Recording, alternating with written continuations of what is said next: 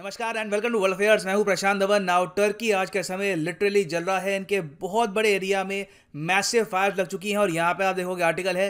Three already dead और करीब बताया जा रहा है कि सत्तर से लेकर अस्सी लोग बैडली इंजर्ड हैं. ये हॉस्पिटल में हैं और लग रहा है कि मृतकों की संख्या यहाँ पे काफ़ी हद तक बढ़ेगी. डरा देने वाली बात यहाँ पर यह है कि फॉरेस्ट फायर इनकी अभी भी कंट्रोल में आई नहीं है।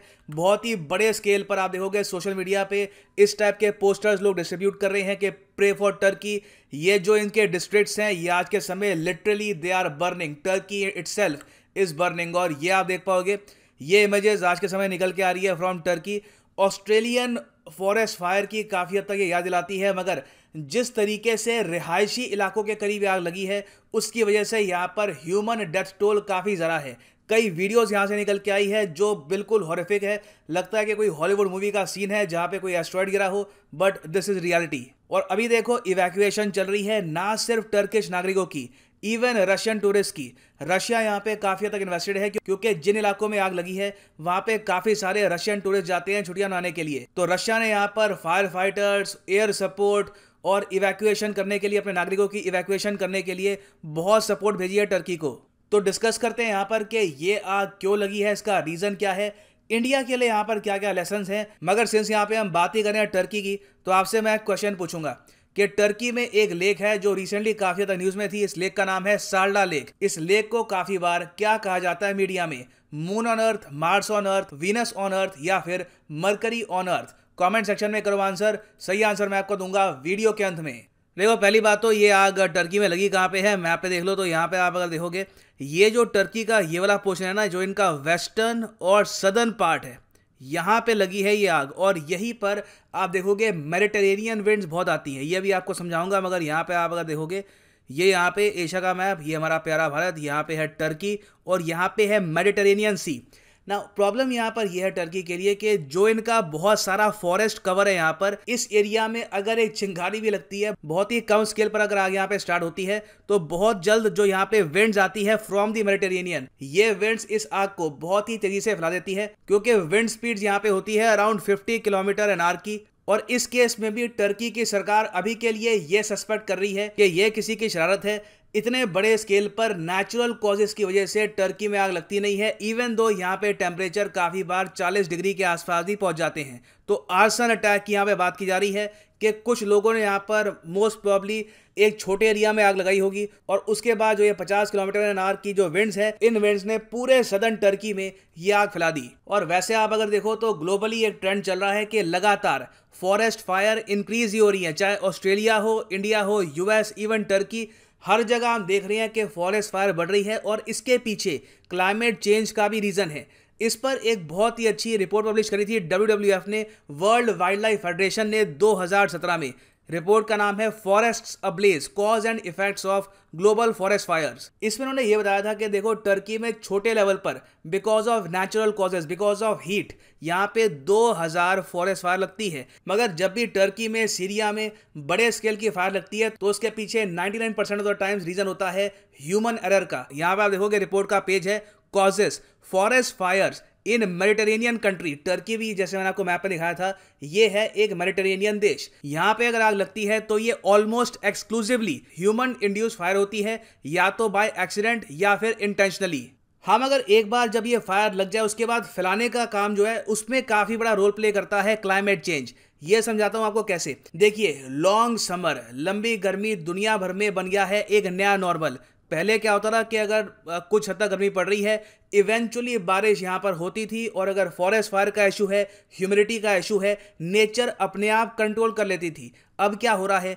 कि सिंस ओशन के टेम्परेचर लगातार बढ़ रहे हैं, पूरी धरती का ही तापमान लगातार बढ़ रहा है, उसकी वजह से बारिश हो गई है, अब काफ़ी हद तक इराटिक मतलब कि बहुत लंबे समय तक बारिश नहीं होगी, फिर अचानक से दो तीन दिन में इतनी बारिश होगी कि बाढ़ आ जाएगी। तो टर्की में भी यहाँ पर सेम केस है। अगर यहाँ पे नॉर्मल रेनफॉल होता तो अपने आप ये जो फॉरेस्ट फायर है, ये कंट्रोल में रहती। फिर इस सब के अलावा एक बहुत बड़ा इशू ये भी है कि लॉन्ग समर की वजह से ह्यूमिडिटी बहुत ज़्यादा बढ़ जाती है और उसकी वजह से काफ़ी बार स्ट्रॉन्ग ड्राई समर विंड आती है फ्रांस से, स्पेन से, यूरोप के और एरिया से, जिसकी वजह से यह आग तेज़ी से फैलती है। इसको ये लोग कहते हैं मिस्त्रल दुनिया भर में आप अगर देखोगे तो जो वार्म ड्राई समर विंड्स होती हैं, गर्मी की जो हवा चलती है, उसको वेरियस नाम से बुलाया जाता है। फॉर एग्ज़ाम्पल आप अगर देखोगे जापान में इसको कहते हैं योमा इंडिया में कहते हैं लू, आपने सुना होगा नॉर्थ इंडिया में कहते हैं कि लू चल रही है। जब बहुत ज़्यादा गर्मी होती है ह्यूमिडिटी होती है, उस टाइम जो हवा चलती है, उसको कहते हैं लू। गल्फ कंट्रीज़ में इसको कहते हैं सिमोन न्यूजीलैंड में इसको कहते हैं नॉर्वेस्टर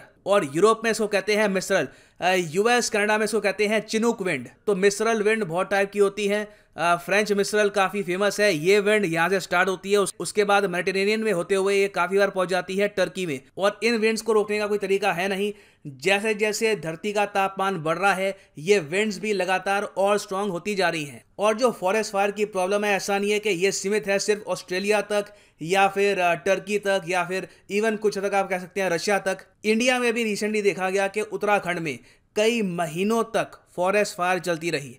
इसको हम प्रॉपरली कंट्रोल कर नहीं पाए थे और साइंटिस्ट इस चीज़ को लेकर बहुत ज़्यादा चिंतित हैं। लगातार इंडिया और नेपाल में जो फॉरेस्ट फायर लग रही हैं, उसकी वजह से साइंटिस्ट ये कह रहे हैं कि क्लाइमेट चेंज और ज़्यादा बढ़ेगा, ये एक विशेष साइकिल होती है। ये आपको समझाता हूँ कैसे। इमेजिन करिए अपने माइंड में, एक बहुत ही बड़े एरिया में लगातार जो ट्रीज हैं, ये जल रहे हैं। जब ट्रीज को आप सिरा सिरा से जलाओगे तो क्या एमिट आप करोगे? ऑब्वियस सी बात है, आप बहुत ज़्यादा मेगा टन कार्बन यहाँ पे एमिट करोगे।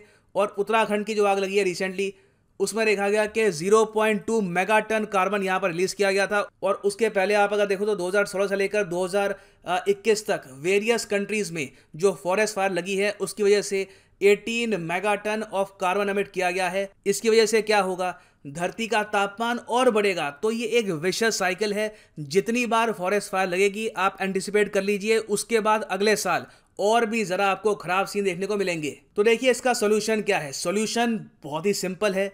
क्लाइमेट चेंज को रोको। क्लाइमेट चेंज पर एक्शन लो। वेरियस कंट्रीज़ हैं यहाँ पे जो आज भी प्रॉपरली क्लाइमेट चेंज को रोकने के लिए काम कर नहीं रही। तो ये तो हो गया मैक्रो लेवल का सोल्यूशन बड़ा सोल्यूशन इसमें टाइम भी लगेगा।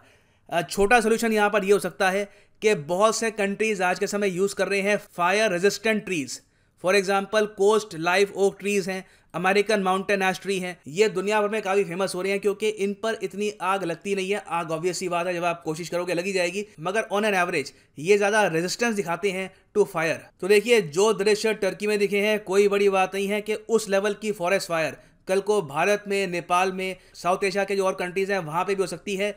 ये एक ऐसी रियलिटी है जिसको हम जितना इग्नोर करेंगे, ये हमारे सामने उतनी प्रॉब्लम्स क्रिएट करेगी। Eventually we will have to deal with this ना वापस आते हैं अपने क्वेश्चन पे कि टर्की की जो साल्डा लेक है, इसको काफ़ी बार क्या कहा जाता है? तो सही उत्तर यहाँ पे है option B Mars on earth क्योंकि साल्डा लेक भी एक क्रेटर से बनी है मतलब कि बहुत टाइम पहले यहाँ पे एक मीटियोर गिरा होगा, जिसकी वजह से यहाँ पे एक लेक फॉर्म हो गई। और इसको काफ़ी बार कंपेयर किया जाता है मार्स के जजेरो क्रेटर से। तो नासा भी मार्स में जब भी कोई मिशन भेजता है, कोई रोवर भेजता है, उससे पहले ये कुछ आप कह सकते हैं ट्रायल्स करते हैं प्रैक्टिस करते हैं नियर द टर्किश लेक और फाइनली यहाँ पे मैं ये भी ऐड कर दूँ कि वेरियस एग्ज़ाम्स की आप तैयारी कर सकते हैं विद अन अकेडमीज कोर्सेज ये कोर्सेज महँगे हो जाएँगे एक अगस्त 2021 से। तो आपके पास अभी दो दिन है तीस इकतीस, आप चाहें तो ये कोर्सेज परचेज कर सकते हैं before the prices increase simply जाओ अन अकेडमी डॉट कॉम पर या फिर कमेंट सेक्शन में मैंने पिन कर रखा होगा लिंक वहाँ पे भी आप क्लिक कर सकते हैं और यहाँ पे जो भी कोर्स आपको परचेज करना है एसएससी यूपीएससी बैंक आप परचेज कर सकते हैं। ये कोर्स जो यूपीएससी कोर्स है, ये 24 महीने का आपको पड़ेगा for just three thousand rupees per month मगर ये प्राइस कभी भी पेमेंट कर देना। यूज़ करो यहाँ पे promo code P D ten and the prices will fall और बाय द वे इस कोर्स के साथ आपको दस हज़ार रुपये वर्थ टेस्ट सीरीज़ भी फ्री मिलेगी। UPSC test series absolutely free of cost by Unacademy so use the code P D ten and save money इसी नोट के साथ यह है video Kant thank you for listening and as always God bless you all